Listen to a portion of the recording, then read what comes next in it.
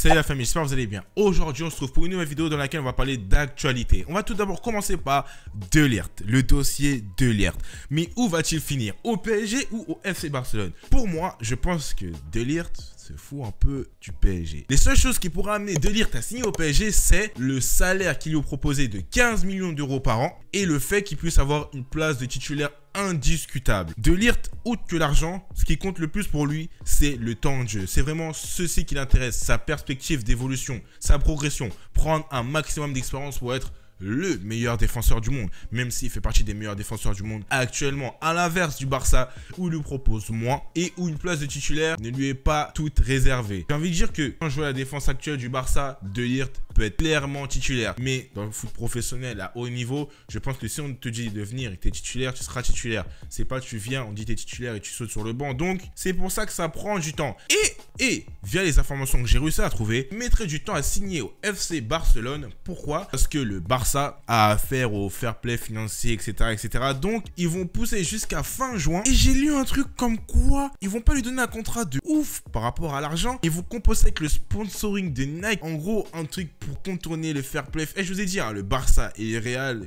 fair play financier, ça les touche pas. Moi, en tout cas, pour moi, Delirte devrait finir au FC Barcelone. Je vous l'ai dit, il finira au PSG, mais il n'y a vraiment pas beaucoup de chance juste pour ces deux choses. Le salaire très élevé, cette place de titulaire indiscutable. Mais lorsqu'on voit la perspective d'évolution des grands joueurs qui viennent au PSG, je pense qu'il a dû réfléchir à ça et c'est sûr qu'il ne viendra. Bon, sûr, on ne sait pas, mais il y a de grandes chances qu'il ne vienne pas.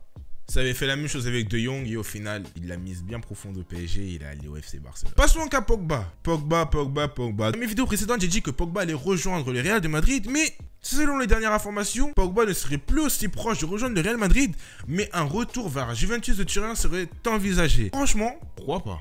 Pourquoi pas? S'il retourne à la Juventus de Turin, j'espère qu'on va encore voir un très très grand Pogba. Malgré que la Juventus de Turin soit très bonne au milieu, si Pogba revient à la Juve, ce serait un très grand plus pour la Juve et pour Paul Labide Pogba. Dis-moi dans les commentaires où tu verrais plus Pogba jouer. À la Juventus ou au Real de Madrid ou tout simplement rester à Manchester United. Et finissons avec le Bayern de Munich.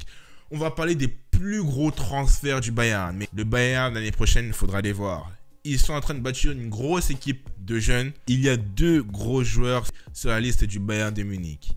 Nicolas Pepe et Leroy Sané. Je pense que Pepe finira par aller au Bayern de Munich pour 80 millions d'euros. Des nombres dans cette zone-là. Bayern de Munich veut recruter Leroy Sané, mais Manchester City déclinent les offres. Ils estiment que les offres proposées par le Bayern Munich sont trop faibles pour Leroy Sané. Si Leroy Sané rejoint le Bayern de Munich, plus PP, plus d'autres grands joueurs, l'année prochaine en C1, ça va faire mal. Et je pense que Sané peut rejoindre le Bayern Munich parce que à City, il, un coup il est titulaire, un coup il n'est pas titulaire, un coup il est titulaire, un coup il n'est pas titulaire. Mais en tout cas, Guardiola ne le laissera pas partir comme ça. Abonne-toi, laisse un like et on se retrouve pour la prochaine vidéo. Ciao